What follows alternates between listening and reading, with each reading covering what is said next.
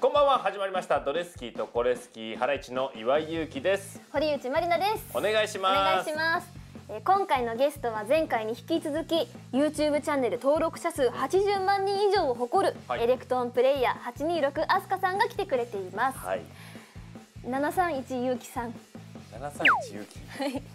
どういうこと？岩井さんのお名前を 言ってみました。731ゆうきさん。あーはい。あの誕生日プレゼントでもらって嬉しかったものとかありますか、いやー俺もう誕生日言われるのあんま好きじゃないからな。あそうなんですね、うん嬉しかったもの。はい。うーんちょっと前で言うとうーんとねネグリズム。あうん。ネグリズム大量に事務所に届いてた時あはい。はうわよっしゃー最高ですね。消耗品がいいわやっぱ。消耗品、うん。まあ使えますしね。そう。疲れてる時に。あとは湿布。湿布？うん。フェイタス。フェイタス、フェイタスタンプレですか？うん、そう。ねあれは嬉しいねやっぱね。あそうですか。そじゃあいっぱい持ってきますね。う何が一番嬉しい？私は、まあ、一番嬉しかったのは、あの湯船に入れるタイプのお酢うん。そんなん あるんですよ。うん。そうあの入浴剤になる。じゃんえ ちょちょちょっと臭いんですけどあ臭いんじゃん、一瞬です。でもうん。入れるともうすぐ体が温かくなってうん、ポカポカ。酢酢なのに？酢酢なんですよでも。ちょっと臭いですけどそれだけ受け入れれば。道理で酢臭えなって思ったわ。いやべやえやっちまったっーす酢臭いっすこの人。行ってきます。行ってきます。音楽バラエティー。ドレスキーとコレスキー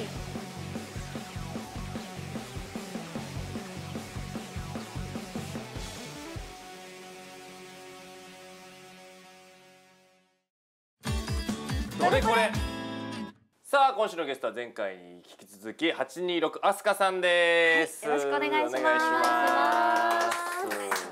い。はい。えー今回はですね番組名にちなんで826アスカさんのコレスキーなものを聞いていきたいと思います、はい。今回は音楽の関係しているもの以外で聞いていきたいと思います、なるほど。まず一つ目のコレスキーなものがこちら。自然と触れ合うこと。おおなるほどなるほど。ね。うんよく行かれるんですか？そうですね。私福井県の鯖江市というところに住んでいましてはい。もう周りが緑なんですよ。あもう自然豊か。あなるほどなるほど。なんで、うん。もう小さい頃からもう自然と触れ合うことは日常でしたね。福井県ってあんまり行く機会ないんですけどもですよね。うんなんか有名なところとかあるんですか？鯖江だとメガネが一番有名メガネ？メガネ？はい。えメガネ作りがそうですそうですそうです。もう駅からメガネメガネってしてます。すごいみんな結構メガネかけてんのかな？そんなこともないですか？ないですね、うんあんまり。かけてはない。でも工場がいっぱいありますメガネ。の工はい場が多いんだ、はい。へーで自然も多い感じなんですか？す。すごいいいとこ写真はすごいね。菜の花は福井何これ？です福井です、ん。これだから友達と遊びに行ったりする時は、もう本当に菜の花とか桜とかはコスモスとあかツツジとか。あいいいとこですね。いいですね。はい。もう自然を見に行って。地元っすよね。そうですなんか旅行客みたいな写真ですね。本当に。いや本当です二枚目旅行客客みたいな。すごいなんか。ね都会の人が来たみたいな、うんうん。そうそうそうなんですさあなんか田んぼもなんかいいね。うわーいいですね。ショッピングというよりかはこういった自然を見に行ったり。山が映ってんですか、そうですそうです。すごいね。反射してるんです。あーこれもまた。本当だ。うん。えへー。ー、やっぱり心身リフレッシュされるみたいな。そうなんです。あ癒されます。どういうところ行くんですか？この遊ぶってなったら、まあ、中高生とかだった中高生とかだったら、ら、でもなんとないんですよね。うん、ないんだ。やばいかな、まあわまあわかりますよ。なんかでも、うん。埼玉もなんもないですから。あそうですか、うん。ゼロです。行く場所。ゼゼロではないですよね。埼玉何もないから、うん、東京に近いとこが一番いいとこなんですから なんか自然豊かで良さそうなところですね、はい。海は本当によく行きますね。あそうなんですね、はいじゃあ海か山かで言ったら海ですか？海だと思います。泳いだりとかもするんですか？泳ぎはしないですね。え海あんのに、み見るだけです、見て砂浜でこう。そうだよそういう時に。ね海の近くの人って意外と泳いだりしないんですよね、うんそうかもしれないですね。地元の友達とかはどう思どう思ってんの？そのなんかすごいはい。エレクトーンでこうさ、番組とか出て。なんか、あんま友達いない。すごくないってなってない？あんま友達いないんです。友達いないの？そうなんですけど。えバレバレちゃった。少ない友達いなんですけど。確かに友達と写ってる写真一枚もなかった。ねえ初へ続いてのこれ好きなものこちらです。ドライードライブ。ドライブ。あらもう。免許持たれてるんですか？持ってますねあら。三四年くらい経ってるんですけど、ドライブっていうか車に乗ってることが好きなんですうよ。ーんーなんで免許持ってるんですけど、ほとんど運転してないです。あら。誰に運乗る転してもらってんです。かそうなんですね。誰が運転してるんですか、うん。友達だったら、ん。ほとんど友達が運転してくれる。免許持ってんのに？んですけど、なんで運転してくれないのか？あの車ってなくて自分の。うん、なんで母のを借りてたまにドライブしたりするんですけうどん。結構福井だと車持ってる方結構いらっしゃって一人一台ってまあそうですよいう感じねなんですけど、うん。私まだなくて、ないんだ、へー。そうなんです。乗せてもらうことが多くて、あであのこの活動も車で基本的に移動していてそうなんですよ。あの楽器を積んで、エレクトーンも。はい、家族4人でいろんなとこ行ってて、ー家族4人で。そうなんです。今日も？今日も今日はお兄ちゃんいないんですけど、うん。父母と。今日も車で来たんですか？今日も車で来ました。え？福井からどんぐらいかかるんですか？6時間ぐらい。いや長い。長旅。すごい。はい。運転ししたんですか？運転してないです。してないですか？してくれました。危ないです。一回も？運転してないの？免許証は全部お父さん？全父？全父です。全父だ。すごいですね。お父さん今いらっしゃってるけど、はい。ねすごい素敵な大変でしたね。いやなんか危ないんですよ私運転。そうなんだ。初心者っぽくてまだ。あ危険なんで。あそうかみんなね。うん。俺も母親の運転する助手席で、なんで今の信号渡んなかったの？と切れたりしてますよ。一番迷惑な。いや行けたでしょ今のって、うん、とかね。言ったりなんかして。そういうのはないですか？ないです。ね。心地よく乗らせてもらってああいいですね。はいさあそして、はい、そして、うん。えー続い最後のこれ好きなものがこちらです。寝ること。寝ること、お寝ること好きなんですよ。結構寝るんですか？はい。お二人好きですか？寝ることは。最近寝ることのあの良さに気づいたっていう。最近？うん。まあ、今まではこうやって寝ることが趣味ですっていう人のことをちょっと下に見てたんです やばい。けどなんか何もなんかそれ趣味って言えるかって思ってたんですけど、うんちょっと帯番組やりだしました最近ね、はいはいはい。あのそれでやっぱりこう毎日同じ時間に起きるんで、その時間以降寝てられることが幸せなんだってことに気づいてからー。寝ることが趣味っていうのもありなのかなって思ったんですよね。うん。そうですよね。なんか私今もう散々自然と触れ合うこととか、ん。ドライブとかって言ってちょっもアクティブなイメージかもしれないですけど、うん。全然一日中休みの日家にいることもあるし、もはい。うずっと寝てられるんですよね。えー、へー結構ずっと寝てられるんだ。ずっと寝てられますね。なんか疲れないですかね、うん寝すぎて。疲れますね。疲れるん寝ですけど。すぎて疲れて、はいそんで寝て？はい。でもすごい気持ちよくてなんだろう。でもすごい変なとこで寝ちゃうんですよ。変なとこ。変なとこなんかエレクトーンの椅子の下とか 丸まって寝たりえとか。家実家っすよね？そうなんですそうなんです。すぐベッドありますよね多分。うんなんか仮眠したい時とかにう、んそうそうそうそう。本当だすごい体勢で寝てるのなんか。うどういう体勢で寝てんのこれこれ丸まってますね。正座みたいな感じじゃないの？か。なんか丸椅子。あ椅子かこれあそうです。椅子の上で、椅子一つでも寝られますねどっかでーえすごいところどっかでこれ歪み出ますからね体に。ですよね。うん。危ない。そうそうそうえーバランスすごいですねこ何？これこれどこで寝てんのこれ？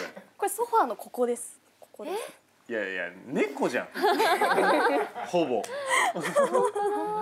猫じゃないですかこれは。きますね。えー、えなんか夢とか見たりするんですか？あ見ます見まおなんかこういうところで寝るとろくな夢見なくないですか？す いや本当そうですよね。俺マジで明るいところで寝ると悪夢見んだよーね、え？うん。明るいところで真っ暗がいい派ですか？うん暗いとこで夜寝ないとうん。悪夢見ますね。俺もどこでも寝れるんですけど、えなんか見る夢が違いますねそうなんだ。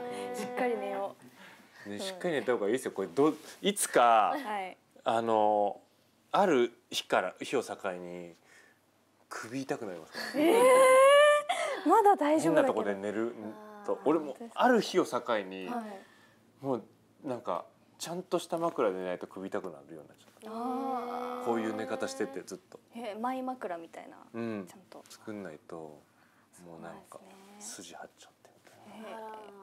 気をつけましょう。気をつけましょう。気をつけた方がいいですよ。ねえうん。どれこれ？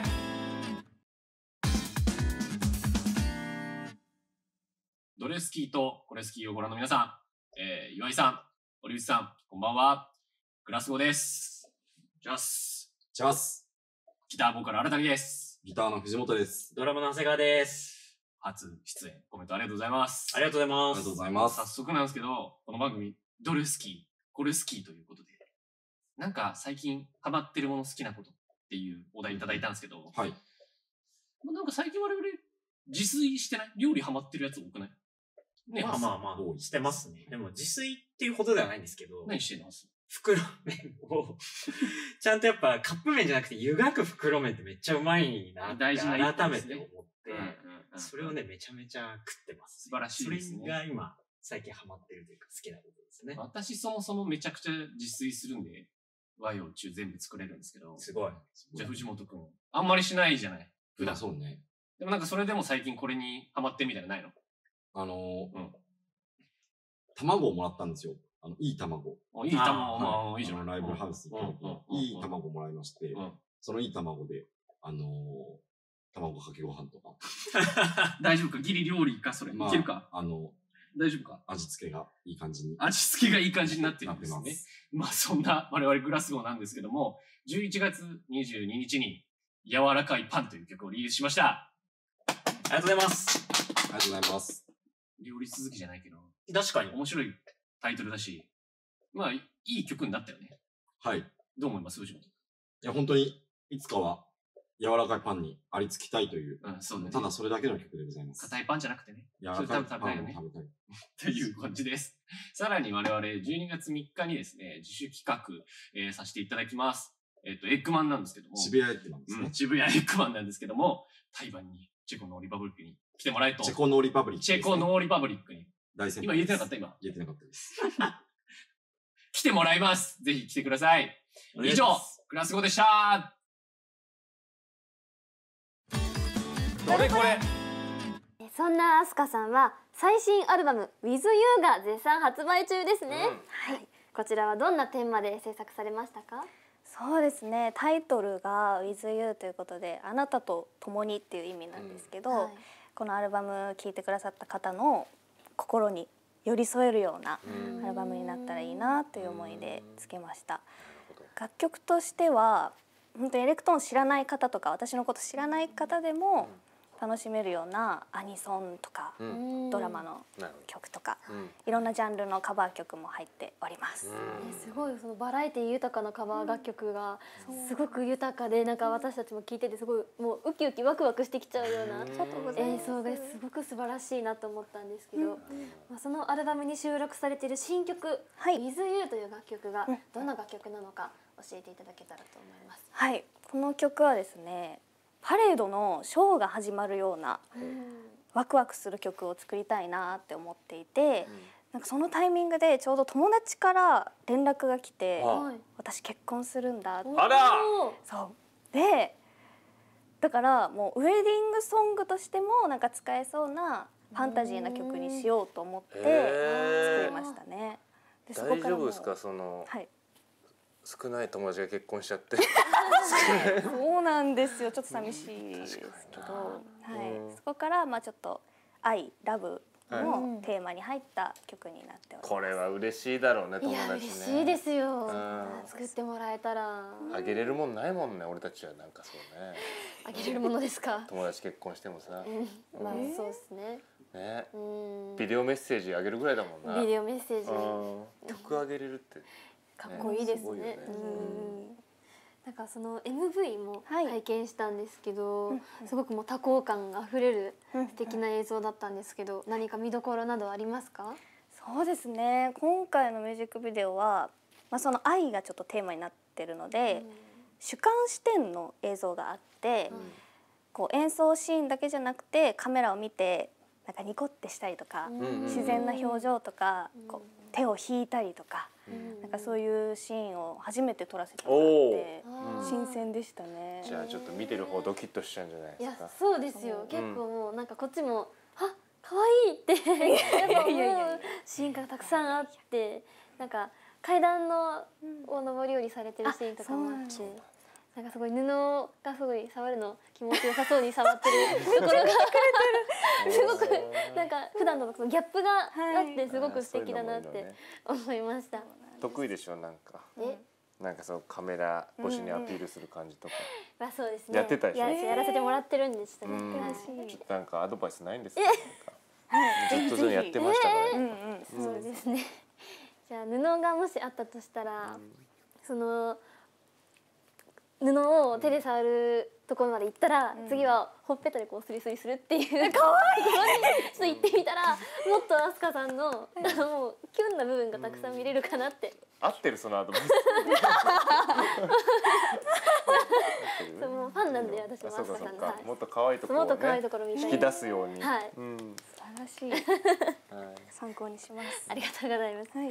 でこのアルバムの他にも今年10月には2022年、うん2022年から2023年にかけてはい行われたライブツアーのブルーレイが発売されたそうですね。そうなんです。うんこちらにはファイナルの大阪公演の様子が収録されているそうなんですけど、ライブはいかがでしたか？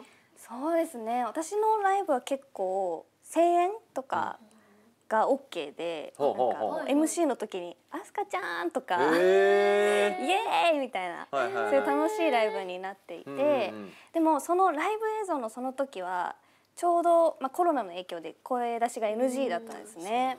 うん、なんですけど、まあ、その中で拍手してくれたりとか、うん。ペンライト振ってくれたりとかで、うん。すごい盛り上げて楽しんでくれてるなっていうのがうん。映像からも伝わるしその場でもなんかすごいそれを感じたライブでしたね。うん。なんかその時なりの盛り上がり方がねうん。入ってるのもいいですねでそうもねそうですね。うん。あさらに今月クリスマスライブもあるんですね。そうなんです。はい、12月24日の日曜日に、うん。京都劇場にてクリスマスライブを開催しまおー。いいですね。す。はい、うんこれはもうクリスマスっぽい曲とかもやっぱりやるんですもんね多分ねそうですね。うんイブなんでうんやると思います。ははいい。じゃあそちらもちょっとチェックしてください皆さんはい、ぜひ皆さんチェックしてみてください。どれこれ？堀内告知チャンスす、すくさいかな。恥ずかしい。あなた酢臭いです。はい。恥ずかしい。酸っぱい匂いしてますんでね。気をつけてください。えー、堀内告知チャンスは問題に正解すると告知することができますんで、はい頑張ってくださいね。頑張ります。はい。問題。はい。ドレスキーとゴレスキーは2021年4月にラジオのようでもあり何々のようでもあるのコンセプトのもと番組が始まりました、何々に入るのは何でしょうか？えー、っとですね、ラジオのようでもあり、ライブのようでもある。ライブ？はい。音楽ライブみたいな音楽ライブ。はい。